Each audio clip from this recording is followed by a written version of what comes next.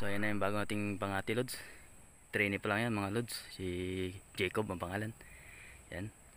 Subukan natin kung makakahuli siya o huhuni ba siya mga lods. Pero siyempre gagamitan natin ng speaker para humuni. Alright. Sana maka, may lumapit at makakahuli mga lods. Okay.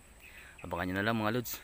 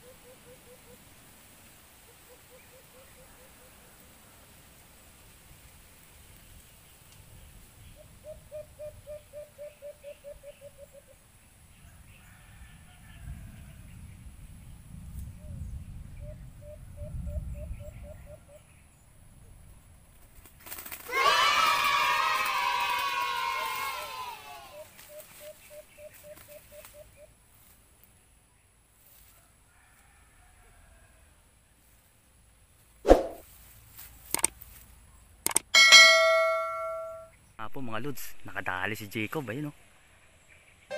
Effective talaga. Oh. Effective mga lods. Yes, first time ni Jacob. Ano yan lods, wala pang dalawang buwan. Yan. Maka, nakatulong talaga yung speaker mga lods. Ayun oh, dali. Di ba? Dali. Galing mo Jacob. Alright, hindi na masama sa bagong ano, trainee. Bagong trainee pa lang yan mga lods. Nakadali agad. Nice, Jacob. So ayan mga lods, ang huli ni Jacob oh. Ganda. Tingnan yung mga tingnan yung kaliskis mga lods oh. Maganda rin ang kaliskis mga lods oh. Oh. Ganda, biyak-biyak din oh. oh. Talagang hindi nagdalawang isip mga lods nung dumapo. Tsaka dumapo sa may trap. Huli. Ang galing ni Jacob mga lods, first time. Hindi na masama sa bagong trainee mga lods.